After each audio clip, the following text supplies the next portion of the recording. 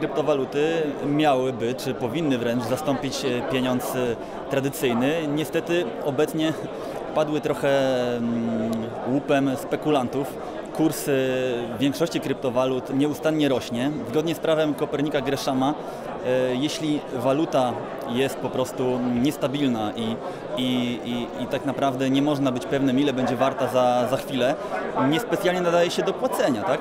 Dlatego dzisiaj nie można z całą pewnością powiedzieć, że zastąpimy nie wiem, bitcoinem czy jakąkolwiek inną kryptowalutą e, tradycyjne pieniądze, dlatego że one nie nadają się do płacenia.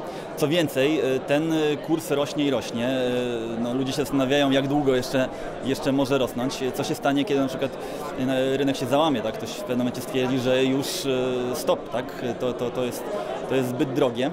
Wtedy może ucierpieć cały rynek finansowy, bo technologia blockchain jakby wkroczyła już dość poważnie w, czy w rynku ubezpieczeniowym, czy finansowym. Coraz więcej banków i innych instytucji e, się tym interesuje, myślą o cyfrowych pieniądzach, o innych rozwiązaniach, trwałych nośnikach. Chcą je robić właśnie e, na blockchainie, a słowo blockchain może się po prostu źle zacząć kojarzyć wtedy, kiedy, kiedy te bitcoiny po prostu, po prostu, po prostu pękną.